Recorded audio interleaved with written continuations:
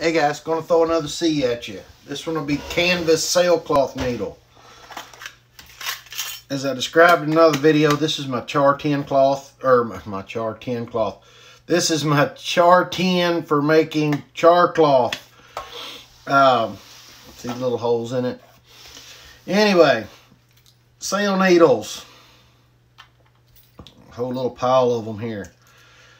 Every size and shape.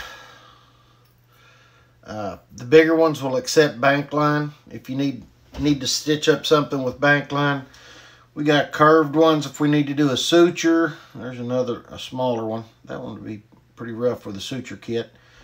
Um, multiple sizes for multiple different uses. Another cutting tool that I actually forgot was in there. That's a Swiss Army Micro. It's got a pair of scissors on it. I assume that's why I stuck it in this this kit. Uh, small drill bit for punching through leather, uh, wood if you're trying to make some outdoor projects. Sometimes it's nice to have a drill bit to make a few holes.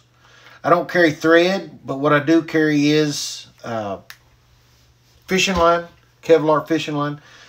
This is a dental floss holder that I respooled with 30 pound Kevlar fishing line. This is a spool of 60 pound Kevlar fishing line.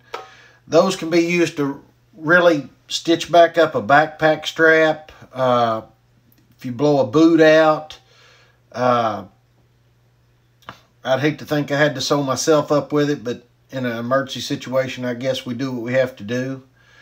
Really quick video because there's not a lot to it and not a lot to explain. If anybody knows of anything that else they'd like to see thrown in it, just hit me up and leave a comment, and I'll get back with you. Thanks, guys.